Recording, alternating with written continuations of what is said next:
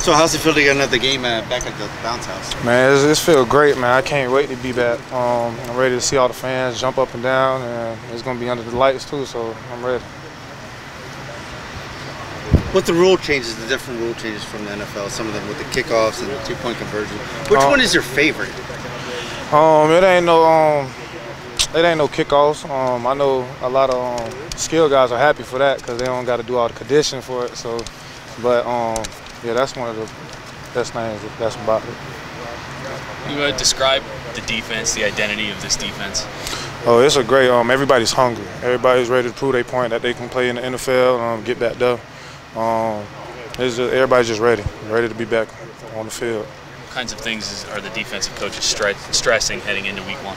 Um, try to get in condition. Um, stay, stay focused. Stay poised. Um, let the game come to you. Um, play physical and hard.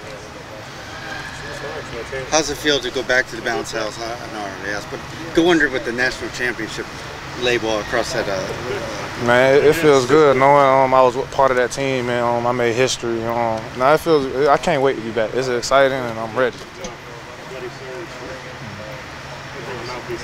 I'm good. Cool. Thanks, Tony.